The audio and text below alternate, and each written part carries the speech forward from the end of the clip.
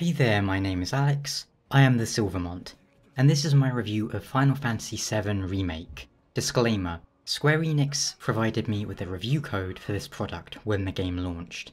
I received no monetary compensation or the like. So that out of the way, let's get started. Boy is this an interesting game to review. Despite having played video games for 20 plus years, I was never much into Final Fantasy when I was younger. The first one I really played through was 10. When they announced the remake some 5 years ago, I decided sometime after that I would play through the original Final Fantasy VII so that I could compare it with this new remake. So having played through Final Fantasy VII relatively recently, it made a good comparison, but likewise, I don't exactly have nostalgia for the original game. Playing it in my mid-20s, meant that of course I will have different feelings in regards to the game as opposed to someone who played it when they were 7 or 8. Reviewing remakes in general can be a tough prospect too. Are we reviewing it as an original product or comparing it solely with the original? Well, I'll attempt to do both within reason. But perhaps the main reason this is such an interesting game to review, for me, is how mixed my feelings are about it. See, Final Fantasy VII Remake was a very mixed experience. Let's start with the graphics as the most obvious example. At times, 7 Remake looks absolutely amazing. The opening bombing mission, for example, looked flawless, couldn't find anything wrong with it. But then later on, there are very prominently featured textures, such as on doors that take up most of the screen in a cutscene, that are horrendously low res, and take this screenshot for example. This is a beam in your path that you have to go past and it fills up pretty much the entire screen and it's not ever going to load in another texture no matter how long you wait. And yes, sometimes this is just a streaming issue. If you sprint through areas, you can see textures pop in. Other times, as mentioned, no matter how long you wait, it doesn't load in a higher detail or higher resolution texture. That's just how it is. Irrespective of if you're playing the game on a stock PS4, PS4 Pro, or PS4 Pro with an external SSD, anything like that. Instantly, I was playing on a PS4 Pro. The quality is inconsistent, which makes it all the more jarring than if it were universally bad, for example, because you go from amazing visuals to comically bad looking visuals. And that inconsistency, that mixed experience, pervades through a lot of the game experience. Well, let's touch on the remake aspects first, before we get much more into that other stuff. How faithful of a remake is 7R? Unfortunately, I can't even give a yes, it's faithful or no, it's not faithful answer to that, because for the most part, it is a faithful remake. But there are areas where, well, it veers into spoiler territory, and I'm trying to keep this review spoiler free, hence most of the footage being from the first few hours of the game. But let's just say when the remake is going for remaking scenes from the original, it often feels accurate or faithful to the spirit of the original idea. There are a few changes here and there, but I would say generally it is a faithful remake that plays lots of homages to the original as well. And if you were worried about uh, some of the goofy scenes, such as the whole Honey Bee Inn stuff with, you know, Cloud dressing up in a, well, a dress, that sort of goofy stuff is still in there, thankfully which makes me hope that in, I don't know, part two or three, we're going to have uh, Red 13 dressed up as a human doing his weird waggling dance, and the bit where Sephiroth hucks a materia at Cloud's head and then flies past him. I'd love to see that in very realistic graphics. There are also areas where it feels like a fitting recreation of the original in less obvious ways, such as scenes where Cloud and the immediate surroundings are 3D models, but the backgrounds are pre-rendered 2D images, just like in the original. I thought it was nice as you don't see that often these days, but I think they can work very well when implemented well. Their implementation here is okay. It's not perfect though, because there are definitely scenes where the backgrounds just look a little fuzzy or not great. But for the most part, I think 2D backgrounds can work very well, especially in a game with no dynamic time of day. It means you don't have to worry about, you know, light sources changing. And yes, on that note, 7R, well, it's not a dynamic day-night system it will change from day to night at set points in the story, which allows all the lighting in the game to be done manually, which is usually the better way to do it at the moment until we can get proper ray tracing to make it more realistic with the light sources changing. But yes, manually placed static lighting is very good when done well. But perhaps I'm getting ahead of myself with all this. What is the premise of Final Fantasy VII? Maybe someone doesn't have any idea about it. Well, you play as Cloud Strife, a rather aloof-seeming mercenary who gets caught up in the dealings of Avalanche, a terrorist organization working at taking down the Shinra Corporation, who they believe are killing the planet by using its life source as a form of energy. They are bleeding the planet dry just to make electricity. Cloud presents himself as an ex-soldier, an elite fighter who used to work for Shinra, and is haunted by strange visions and echoes of his past, very small portions of which are revealed over the course of the game. This remake covers the Midgar section of Final Fantasy VII. In the original, this was the opening 5 to 10 hours, perhaps, of a 50 hour game. For comparison, the original Final Fantasy VII took me 50 hours to beat it. I did, you know, all the content, apart from, you know, grinding to level 100. 7R took me 40 hours to beat. That was just Midgar. I will say that Square weren't super clear about how much this game would cover, as I think it's fair to assume that some more casual fans wouldn't realise this isn't the entire game. It isn't called Final Fantasy VII Remake Part 1, it's just called Final Fantasy VII Remake. And it isn't the entire game, it's the it's not even the first quarter of the game, really. Just the Midgar section. But again, we'll get more into that later. Gameplay is now a hybrid action RPG compared to the original's uh, ATB turn-based system. This means the game is a lot harder in some ways, the combat is much more intense. Take the Rufus fight in the original where it was basically attack, attack, attack, win. Now it's more like some sort of Devil May Cry-esque fight where he's, uh, he's well I'm not even going to spoil it but he's doing some pretty wacky stuff, I'll tell you that. Although it does provide an easy and classic set of options, one of which has the characters automatically attacking and defending, you just choose the actions. Basically, as you manually attack enemies with square, you will build up your ATB meter. When it is full, you can do a stronger attack, or use a magic spell or item. Which abilities the characters use is partially determined by the materia system. Weapons and accessories equipped by the characters have slots into which you can place materia. For example, you could have a heal materia, which allows you to cast the healing spell, or a materia that allows you to use the steal action, and so on. Most of these materia can be leveled up too. When you level up the heal materia, you go from cure to cura to curaja, and also regen, for example and then some materia can be used in conjunction with others, such as say, if you have two linked materia slots on your sword, then you can link a heal materia with a magnify materia, which means the heal will hit all targets of your team instead of just one, although at a lower potency. In general, Materia System feels very good and modern, despite being a near exact port of the original game's Materia System, which is just a sign of how well that gameplay mechanic has aged in the 20 plus years since. Another system I really like in this remake is the weapon system. Instead of each weapon you find being a flat upgrade of your existing weapon, different weapons in the remake provide you with different options. Each has its own skill tree in which you can buy things such as more health or more magic attack or physical attack and whatnot. This allows you to tailor each weapon for specific things. Maybe you want one weapon suited for attacking, another for magic, one for tanking. You can do that. Likewise, even if different characters might lean more towards one area than another, you have the freedom to largely build them how you please, just by changing their weapon and their materia. Aeris, for example, is more of a magic casting type, but you could make her more physical attacker if you wished. Likewise, Tifa is more of like a monk, a punching physical attacker, but you could make her your magic user if you wished. It's a very good system, and I've been saying for years and years and years that I prefer these horizontal style upgrade and progression systems as opposed to vertical ones like in Borderlands where every 5 minutes you get a new gun and your old gun is worthless, or every new sword is stronger than the old sword, and every new MMO expansion just gives you 10 more levels, making everything up to that point redundant and sort of pointless. So 7R gets points there, a, a lot of points from me.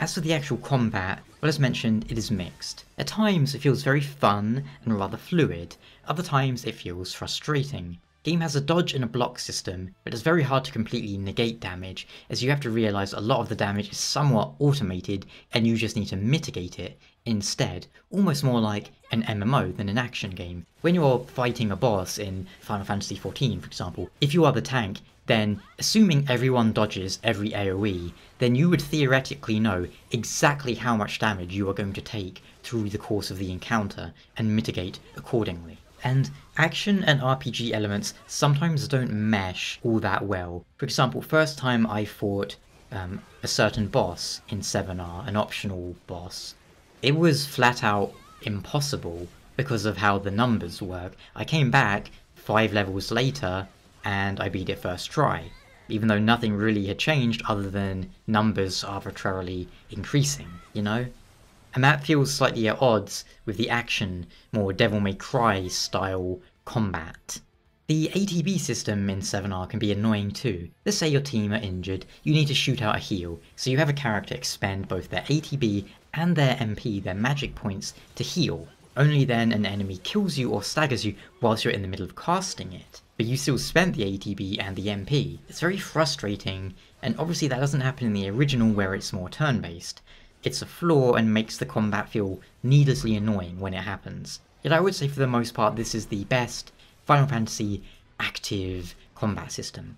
Now granted we don't have many to compare it with, but 15 would be the nearest comparison. I would say this is mostly a better system than 15's. However, I think 15 had a better summoning system in that it made summons feel very powerful and cool and game changers, and 15's Link Strike system was really nice too. Summons in 7R feel underwhelming to me. In essence, during tough encounters, summons have a chance to appear, a little like 15, but then you can choose whether to summon them or not, and once they are summoned, they will fight for a while, you can give them commands, then when they leave, they'll perform their signature attack. And yet, the way in which you acquire them feels very fake and unimpressive to me, and it makes them feel a lot less special Aside from those two areas though, I think the combat is better than 15's and very functional and cool. I really want to see Cid because, as you may or may not be aware, Cid is both my favourite 7 character and also a Dragoon, my favourite Final Fantasy class. I love spears and jumping around like a lunatic. Gameplay is good for the most part. The visuals range from amazing to comical with the landscapes, although the character models are all excellent, unless we're talking about the random NPC villagers who look like they're ported straight from 15 and don't look good. Lighting is great, and the performance is solid too. Although the game runs at 30 FPS, it's a relatively smooth feeling 30 FPS. That is to say it has proper frame pacing and well implemented per object motion blur to make everything feel smooth. Another example of this would be Gears of War 3 back on the Xbox 360, these are both games where you don't recognise the frame rate during gameplay, which is the important part. Now of course, a locked 60 FPS would be better, but it doesn't detract from the experience. I didn't notice any frame dips. That's the important thing. Frame rate, I would argue, is most important in being consistent. A locked 30 FPS is better than a frame rate that hits 60 10% of the time, and the other 90% of the time is dipping down all over the place, I was playing 7R on my PS4 Pro and I'm not sure what resolution it was displayed at, but it did have HDR enabled, and you might notice the colours look a bit uh, off in this review. They might look oversaturated. That's because of how the HDR isn't properly captured and exported via the PS4's capture system. But, you know, rest assured, playing on an HDR TV, properly calibrated, the game looks great with the colours and so on. As for the audio side of things, well, the game has both an English and a Japanese dub, and possibly I know, some others like German and French, and I went with the Japanese one. The English one seems pretty solid, but there's there's a thing with Japanese games where you have a lot of younger characters sounding really bad in dubs, and it completely breaks my immersion as I can't stop noticing it. Final Fantasy XIV, to use that as another comparison again. It has a very good English dub for the most part, all of the performances are pretty good, but then you have Alisaie, the performance itself is fine, you know. If Alisaie was, you know, an adult, it would be fine. But Alisaie is meant to be like a teenager and has like a baby face, and you have this very mature voice coming out of the baby face, and it breaks my immersion. You know, it would break your immersion if you were playing 7R, and then I was voicing Barret, you know? It's very common in Japanese things, as they really like having kids and teenagers being main characters running around battering gods. You might think that would break my immersion too, huh? Either way, the main cast in the English dub all seemed pretty good. Some of the NPCs sound like they're from the Dynasty Warriors 3 dub though. Soundtrack in the remake is great. There's a lot of nice retouched songs from the original, including all of fan favourite tracks. Final Fantasy has long been a series renowned for its great music, and that remains the case. Whilst the original seven tracks were composed in such a way that they didn't exactly change during combat, this new version has phases which can help the music amp up as the fights near their climax, which is a great system. And again, one I can't really go into because of spoilers, but the last two proper bosses, if you've played it, then you'll know what I mean. So now we get onto the pacing and the padding, which is an area I'm frustrated with. See, when you stretch out Midgar into a 40 hour experience, you of course are going to pad things out. In some cases, these expanded sections are nice, as they give more depth to characters or more understanding of the world. For example, early on, very minor spoilers, but this happens, you know, within the first two hours of the game, really. You go on a little venture with Jesse, Biggs, and Wedge that is entirely new and not in the original game, unless I had a seizure and blacked out during that segment. Then this is a good example of expanding story content to give us more context and depth and understanding of these characters. But then, well, near the end of the game, there's a part where you need to leave a certain area. Instead of just leaving, you go through this very protracted sequence of opening several doors, going through combat areas, and then doing it again, swapping back and forth, and it adds nothing to the game beyond padding out the length. There's a lot of moments like that in the game, which were very frustrating, as I don't want to play through padding and filler. So yeah, it's mixed. The bits that genuinely add stuff to the story or help us understand the characters are good. The hub section fetch quests are bad. Much like 15 had side quests where we randomly delivered vegetables for people, 7R has quests where we are finding cats and other pointless details that feel like bottom of the barrel MMO side quests, you know? Pointless padding that you should be able to skip, and you can skip, but you probably shouldn't because then you have some things that are locked behind it that you probably wouldn't want to miss. Now, much of this stems from perhaps the idea that the developers aren't entirely sure how to handle the rest of the game.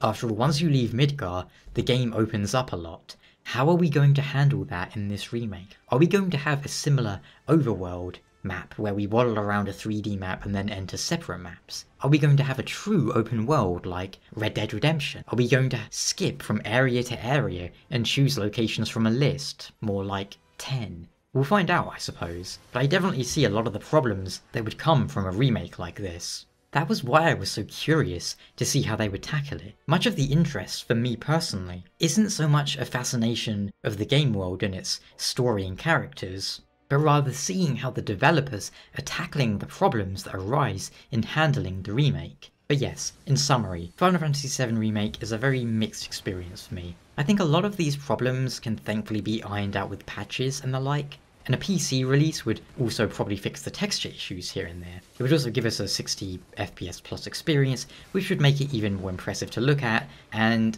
hey, I imagine someone could even mod the PC version to cut out all of the bad filler and padding, but keeping the actual moments that expand upon the game world. But can I suggest the game? Well, if you're a fan of the original, then yeah, I can. If you're into action RPGs, then I can suggest it too. I think it's a very interesting game and quite fun to play too. It's, uh, what, 40 some hours for the price tag, which I think is worth it. Plus, then you also have New Game Plus and hard mode things, and there are some bosses and items that are locked into the hard mode. So there is a bit of replay value as well. As for how our progress will transition to the next game, whenever that comes out, Again, we'll have to wait and see. I hope it does though, otherwise what's the point of obtaining all these materia, grinding all the skills out and doing everything if we start over at the beginning of the next art? I mean, is Yuffie, Yuffie, is she gonna show up and just nick all our materia? She better not. But thank you so much for watching at any rate. And if you have any questions, please leave them down below in the comments. And if you have beaten the game, and are wondering what I felt about, say, the ending and such, Well, I think it was kind of silly, and I'm curious to see how it will impact things further down the road. I will say, more generally, I'm not a fan of the compilation of Final Fantasy VII. I don't really like all these extra things that have come out since that, I don't know, seem to miss the mark a bit, and how it got more and more wild, like that Genesis guy, and no.